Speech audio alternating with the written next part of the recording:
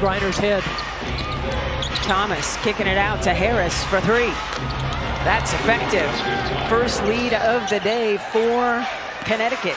They can out rebound this Connecticut team. Heck yeah, that's a tall order. DiJonai Carrington with the thievery and the finish. Yeah. That year you guys were able to accomplish so many special things out there. What stands out to you? I'm guessing uh, that win streak among the lot of the win streak, but to me what stands out is the teamwork. Players for the Mercury, and they're going to get more shots. Tosh Cloud hasn't had a points, dimes, double-double since mid-July as Jones finishes at the cup. It's an 8-0 run for Connecticut as the Sun look to create some serious separation.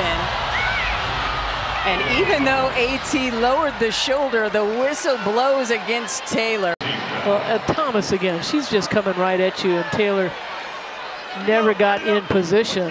Thomas is saying, yeah, don't. All right, what can you do? I can do it better. But the confidence that Cloud has when she does take the shot.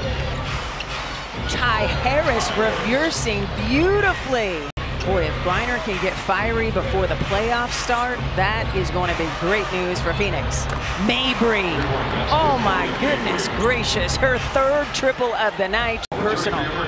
Mabrey with the, not the push off, but Billings loses her balance and has to back off. Gives Mabrey. Six minutes to go here in the fourth quarter. Mabrey tied up. Shot clock into single digits. Nice pass by AT to Jones. Connecticut looking for win number 27 on the season and number 14 on the road. AT and one opportunity. Here we see the shot and the pass by Jones inside to Thomas and Cloud with a little grab